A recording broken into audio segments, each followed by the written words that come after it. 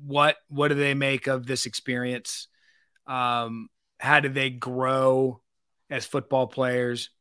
Are they coming back to their organizations? What are some of these coaches going to do?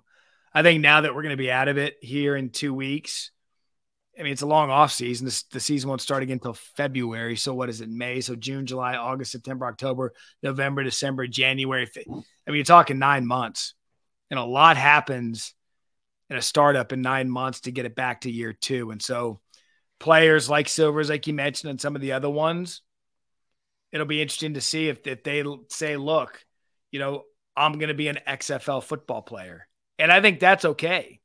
I think even DJ said it like this could be a league that people want to play in. Like there's going to be guys that came from the NFL that want that opportunity, but then there's going to be guys that said, you know what?